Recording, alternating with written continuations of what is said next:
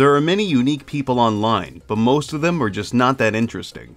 You may follow some people online that say or do things that you personally find significant, but there's those few that interest you for entirely different reasons. Reasons that may be considered cruel given their situation, but their existence is like that of a car crash. You just can't look away. Lolcows, among the many unusual folks you find on the internet, are something of an enigma. People that overshare, overreact, and eventually overstay their welcome tend to be a shared laughing stock. Whether somebody's creating crudely made Sonic fanfiction comic books, or smoking crystal meth and wearing fursuits and diapers, there is a vast spectrum of weirdos to gawk at, regardless if the laughter is deemed as malicious. With every cow that fumbles their way into negative attention, there are key factors to determine whether or not they retain the onlookers. Everybody gets laughed at at some point in their life, but some people are incapable of escaping that problem due to things that ail them. It could all be caused by their upbringing or unchecked mental illness. Their title, Lolcow, comes from the idea that these individuals can be milked for laughs. While there is some overlap between the negative traits of cows, not all of them have the exact same traits. I'm certainly no psychology professional and my armchair is the extent of my medical expertise, but I do have the ability to use Google, so that makes me just qualified enough to throw something together. In my classically trained opinion, there are many traits that can give somebody cow potential. Not all of these criteria need to be met in order to be classified as a potential cow. I'd say if you line up with at least four of the following traits, you're cow material. If you find yourself lining up with these too much, just ignore them and stay away from the internet. You'll probably be fine. The criteria is as follows. Lack of self-awareness. Cows are often unable to see that they're acting strange or that they're in the wrong. They don't analyze their own behavior and fail to assess their situation accordingly. Inability to learn from mistakes. Most cows seem to think that they can keep doing the same thing over and over, expecting a new outcome each time. This always ends badly and they seem to not take any lessons away from their problems. Oversharing information. Most, if not all cows tend to have next to no regard for their own personal security, treating the internet as a large diary for their peculiar behavior. They often have an unhealthy attachment to the internet and will be devastated if they feel it is being threatened.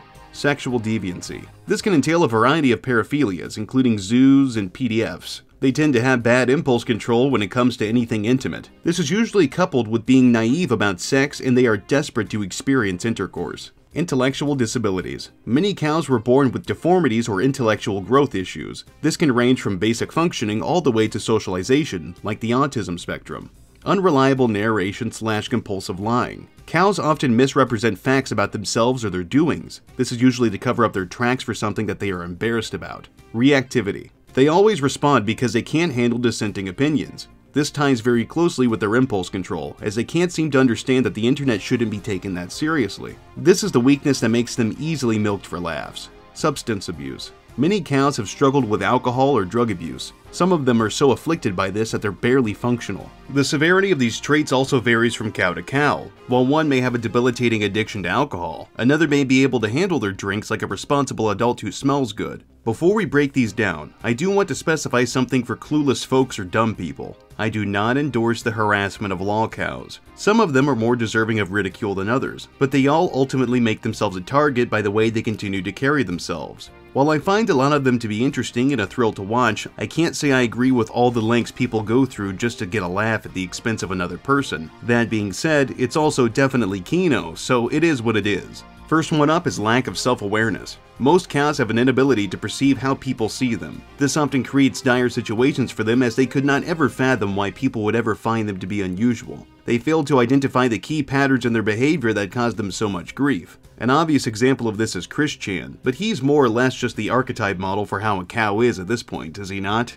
He spent a lot of time drawing mediocre child quality comics filled with hateful rhetoric and nonsensical ego stroking plot points about fan characters for video games made for children.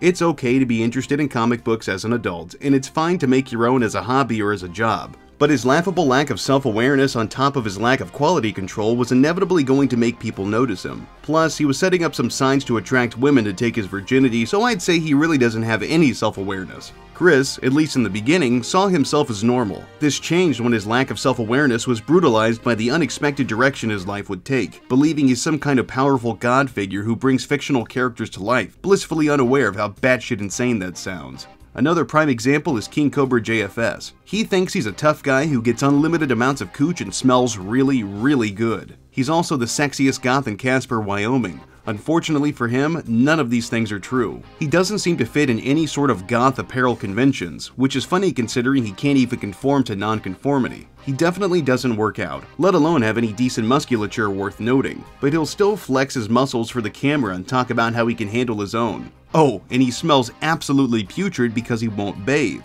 All of this obviously has prevented him from achieving sexual relations with a woman in many years. He'll fabricate stories about how girls tell him he's so hot and that he smells good and whatever else, but whenever he turns on his camera, those girls are nowhere to be found. It's almost like he's lacking the self-awareness necessary to see that his lies aren't even remotely plausible. There are a variety of reasons as to why someone may lack self-awareness. For many cows, it's because they have built their own reality and believe that the world works in a very specific way. However, they're blind to how things really are. This likely manifests from a fear of change, as they typically are petrified at the thought of having their own reality shattered. There is a level of comfort for them as long as they can exist in their own little world, as bizarre as it may be, and anything outside of that just isn't important to them. This wouldn't be so much of a problem if cows weren't doing unusual things that would attract unwanted attention, like microwaving diapers or drunkenly stomping their head into the ground during an all-caps rage. Next up, most cows have an inability to learn from their mistakes. Most people have decent impulse control. They're capable of controlling their impulses, assessing situations and weighing their consequences, allowing them to make structured and responsible decisions.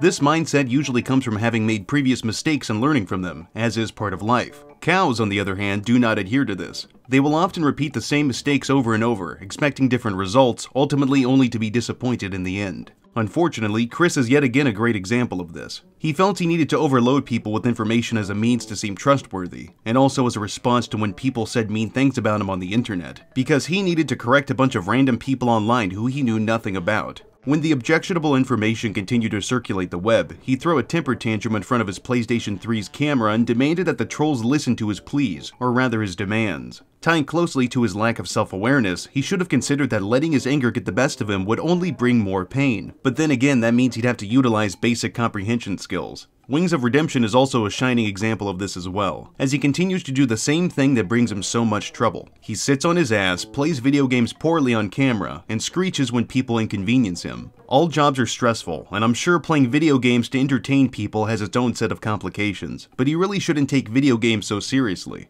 He is rigidly stuck with whatever AAA game is currently popular, namely competitive stuff like Call of Duty and Rainbow Six Siege. These games irritate him, and his advantageous observers tend to use them to catch his ire. Since these games are competitive, people will join his lobbies and rock his shit. He plays well from time to time, but his outbursts of anger when he's not doing so just overshadow the calmer moments. Instead of rolling with the punches and experimenting with his platform, he prefers to lash out at his viewers and cry on stream, constantly lowering everyone's opinion of him. But at least he's got his banquet TV dinners. They understand him. Look here. Look here! Look, listen! Appearing offline does not fucking stop it. So stop giving fucking advice you know nothing about.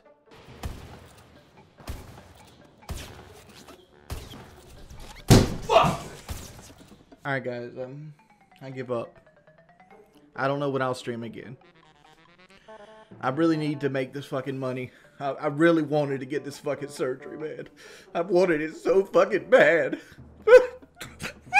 An inability to learn from mistakes can have many causes, but in cows, I've noticed it seems to stem from excessive narcissism. It can be hard for people to understand that they aren't the center of the universe. This concept is harder to explain to a child than it is to an adult. But some select few really do expect things to go their way. They are content with doing things their way because they're always right and everybody else is wrong, despite that being historically inaccurate. These people may suffer from narcissistic personality disorder. According to the DSM-5, narcissistic personality disorder is a pervasive pattern of grandiosity in fantasy or behavior, need for admiration, and lack of empathy, beginning by early adulthood and present in a variety of contexts. These include a grandiose sense of self-importance, preoccupation with fantasies of unlimited success or power alongside other sought-after feelings, belief that he or she is special and unique and can only be understood by similarly special people, a requirement for excessive admiration, and a sense of entitlement.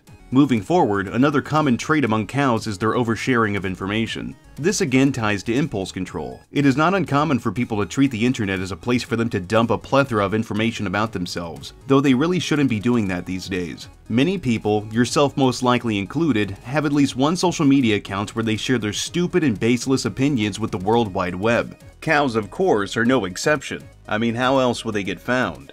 These people treat the internet as if it were some kind of safe, locked up, and airtight diary for their innermost thoughts, including the bad ones. These types often have an unhealthy attachment to the internet. Most cows are socially awkward and have issues forming long-lasting bonds with people for a variety of reasons and the need for socialization can be overwhelming if you spend most of your time alone. As such, the internet is their next best option when it comes to satisfying this need, considering they won't solve it like most people would. And of course, surprise surprise, Chris is yet another damn example in this video. For example, at one point he opted to make a house tour for his squalid hovel. He proceeded to trip over piles upon piles of useless junk and probably even slipped on some cat shit, showcasing the disgusting living conditions that the Chandlers had been residing in. This caught up with him when people started laughing at him and his family for how they lived, and of course the video got spread around. His father, Bob, caught wind of this and threatened to cut down the internet if Chris didn't do something about it, because he was scared that the government would force them to move out of their house. A simple solution probably would have been just to clean the place, but hey, whatever works, right?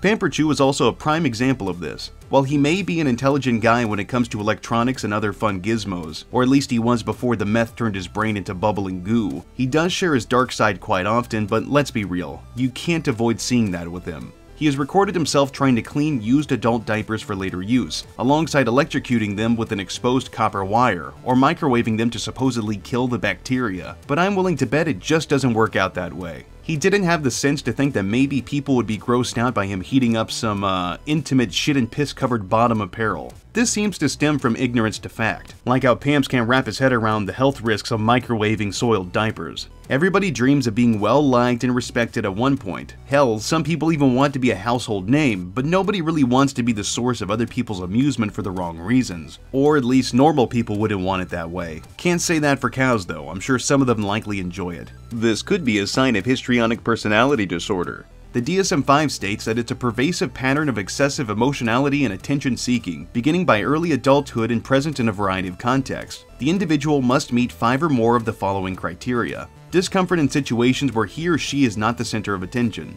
Interactions with others are often inappropriate sexual or provocative behavior. Rapidly shifting and shallow expressions of emotions. Consistent use of physical appearance to draw attention. A style of speech that is excessively impressionistic and lacking in detail. Self-dramatization, theatricality, and exaggerated expression of emotion. Being suggestible, such as being easily influenced by others. Considering relationships to be more intimate than they are in reality. And now I've got to break down their allegiance to sexual deviancy, which is easily the least fun to talk about when it comes to these folks. Unfortunately, most cows are little weaselly horny bastards who can't control themselves in any sexual situation, if they can even manage to land themselves in one. Most large cows, but not every single one, usually acts in dubious ways. This again ties back to a lack of social interaction. As such, some people get desperate to experience intimacy and will make a huge ass out of themselves for love, or coochie at the bare minimum. King Cobra tends to talk about women and sex a lot. Pretty much every time he opens his mouth, he ends up spewing a bunch of sexually frustrated gibberish.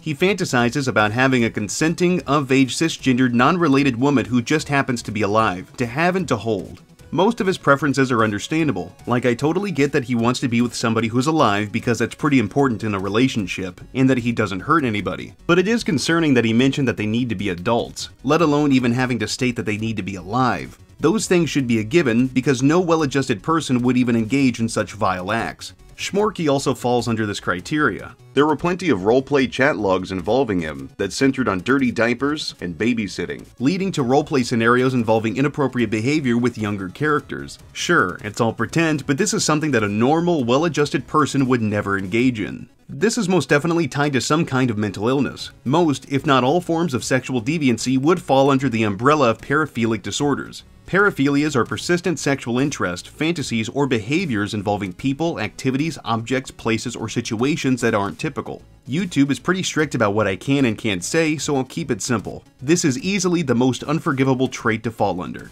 Next up is intellectual disabilities. These come in all kinds of different varieties, but they all orbit two specific areas. Intellectual functioning, like learning from presented information, processing problems and solving them, etc., to adaptive functioning, such as basic communication and day-to-day tasks. The most common intellectual disability that can be observed in cows is autism. The autism spectrum is, well, a spectrum. It isn't so much of how autistic someone is, rather than how many autistic traits does this person have. And unfortunately, we see a lot of people who are obviously very autistic and unaware that their behavior is considered peculiar. Many fandoms, especially those for Sonic the Hedgehog, have a significant body of autistic fans. While some are self-aware enough to keep their behavioral quirks in check as much as possible, there are others who revel in their interest, perhaps to an unhealthy degree. These people are often very reactionary and will respond to interested parties that poke them with a stick. Every count that I have mentioned so far, perhaps excluding Wings of Redemption, is autistic. Some cases are more severe than others. With Chris, you can see that he loves Sonic and Pokemon and drew comics into adulthood before he started slinging meat towards his own mother. Cobra is incredibly socially awkward and unable to grasp simple social concepts, like what is acceptable to say to women. Pamperchu seems oblivious as to why people find his fascination with poopy diapers to be so strange. I think it's safe to say that people who are autistic often get targeted the most. This most likely stems from their lack of self-awareness and the reactionary behavior, but it is worth mentioning that there are people out there that do attempt to single these people out. While I'm not decrying what people are doing for their simple laughs online, as that'd make me a hypocrite given the type of content I create, I think it'd be really dishonest to me to act like this is all just happenstance and none of it is in any capacity some kind of targeted harassment. And oh boy, on to another one. Now we get to talk about their unreliable narration. Most cows aren't exactly honest with the people they talk to. This can vary in intensity, ranging from minor inoffensive fibs to grandiose stories of S-class bullshit. This tends to damage the credibility of a cow when they're trying to convince someone of something, usually not to laugh at them, but their pleas rarely ever work, if ever. There's a variety of reasons why someone may lie. It could be that they're embarrassed by something, or they're attempting to obfuscate the truth to protect their character. It could be due to autism like we just discussed, or it very well may be tied to another significant ailment. Every single cow on this list is guilty of lying. The two most prevalent in my opinion are Wings and Cobes. Wings will just let his mouth overload his ass and then lie about it. He has next to no filter when he's pressed, and routinely suffers from verbal diarrhea due to his ignorance. He'll do one thing, say another, and demand something totally different from his viewers. You know, when he's not crying about being killed by enemy players in Siege. He's not a bad guy for kicking his dog's cage and lying about it. It's all on his haters, pimp. Cobra lies constantly about every single thing in his life. His most famous lie has to be that women are basically throwing themselves at him despite him not having sex in many years.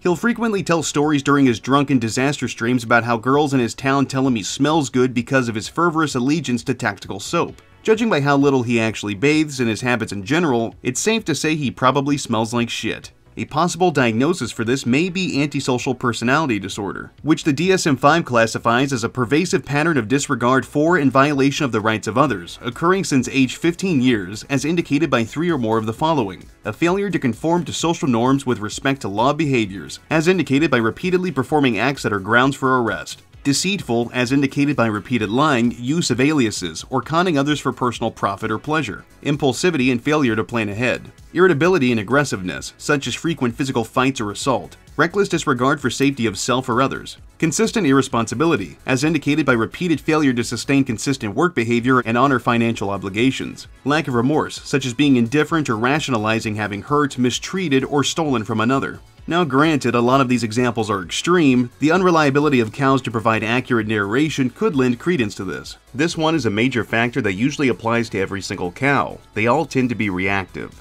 Cows absolutely despise being toyed with, but such is the case for basically everybody online. Nobody likes hearing negative things said about them, and odds are that they'll respond negatively if they choose to even do anything. But cows tend to take this to a whole new level. They will do whatever they can to convince you that your opinion of them is dead wrong. The reactivity we can observe in most cows is almost identical across the board. These individuals respond negatively to negative stimuli, expecting their enemies and any other opposition to just shut up and disappear. They attempt to achieve this via extensive text-based arguments or pleas for mercy, but of course this isn't always the case. Most cows are active on some social media platform, utilizing whatever toolset they have at their disposal. This includes video sharing and live streams. Two people I keep bringing up tick the boxes here yet again, Chris and Cobes. Chris, time and time and time again, without fail, repeatedly would respond to the advances of his trolls, although his reactions were quite varied over the years. Things started off simple, with Chris attempting to plead for some breathing room in the beginning, leading to Chris recording himself throwing a temper tantrum in his bedroom. The thought process behind this is mind-boggling to say the least. Cobes, on the other hand, is mostly a broken record. For years now, he's sat in front of a webcam and demanded the respect of his trolls. Only recently has his ego and reactivity meshed so perfectly, as his videos and streams are just verbal loops of how much he owns his trolls and how pathetic they are, and how he smells good. Have I mentioned that he smells good in this video yet? Because he does. Anyway, he has asked people many times over to just leave him alone and of course that doesn't work, so he gets angry and taunts them. Every time he does this, he gets a little more aggressive, and the trolls have to put him back in his place. Or sometimes his dad has to, but clinterventions are pretty rare these days. Much like what we discussed regarding oversharing information, this appears to be a sign of histrionic personality disorder. This disorder is arguably the most persistent among all possible afflictions we've covered. Lastly, we have another kind of dark one, substance abuse. Substance abuse is only applicable to very specific cows. Much like everything else in their life, they seem to have very little control over consumption of certain substances or materials, or at least they claim they can't stop themselves. This can range from alcohol to drugs to food to any other material that can be smoked, snorted, ingested, or injected. Substance abuse can be seen far less in cows than one may expect. The most common examples tend to lean more into the horror cow spectrum, but there are a few outliers. Cobes, for obvious reasons, can't stop abusing substances for the damn life of him. He started off pretty small by enjoying the occasional alcoholic beverage and a good old-fashioned cigarette or cigar, but his taste had become more aggressive over time. He started taking in more booze, mixing energy drinks with various types of liquor, smoking even more tobacco while also introducing himself to marijuana and spice. Nowadays, his newest squeeze is drinking while huffing computer duster, as if his brain wasn't already melting fast enough. His drinking has totally destroyed his life, eradicating his ability to do anything at all, which obviously prevents him from getting a job or having friends. Well, that, and the trolls would probably fuck with those things too. Another prime example of substance abuse is Pamperchu. He has a little hankering for methamphetamine. It happens. He tends to consult his favorite crank supplier and takes apart any piece of technology he can find, whether it be TV sets, microwaves, or computers. His behavior has gotten more erratic, which is saying something because he was already kinda bonkers. The drugs have significantly damaged his mental acuity and have also given him a sense of bravado. He no longer fears being labeled as a predator, seemingly unafraid of the social repercussions for such actions. Some long-term effects of meth are, but certainly aren't limited to, dental problems, constant scratching of one's skin which leads to sores and scabs, paranoia and anxiety, brain damage such as memory loss and impaired motor function, and of course violent behavior. This can obviously stem from a variety of possible disorders, but in general, this behavior falls under substance use disorder. With a name like that, how could I possibly have come to this conclusion, right? This disorder is quite broad, as you can be afflicted by SUD because you abuse caffeine. Since caffeine is a drug, it still applies. But this is typically reserved for harsher substances. SUD can cover a variety of different disorders, so there is no way to label a cow properly without factoring in their vice of choice. When breaking down substance abuse disorders, the DSM-5 states, the essential feature of substance use disorder is a cluster of cognitive, behavioral, and physiological symptoms indicating that the individual continues using the substance despite significant substance-related problems. But all in all, I'm just a jerk off with a microphone and a keyboard. I am in no way fit to label or diagnose anybody with these disorders. I merely just did some research and compiled what I found, presenting my thoughts and research to you. I hope if nothing else, this video gives you a better understanding of these people. At no point do I want to inject morals into this type of content, but I do think understanding the inner workings of it is kind of interesting if nothing else. Consider it food for thought, I guess. But that's going to be it for today's video. If you like what I do, leave a comment, rate, and subscribe. If you want to support me in a more personal way, you can check out the Patreon link and the Teespring link in the description. I've got more content coming down the pipeline. But until then, I'll see you degenerates next time.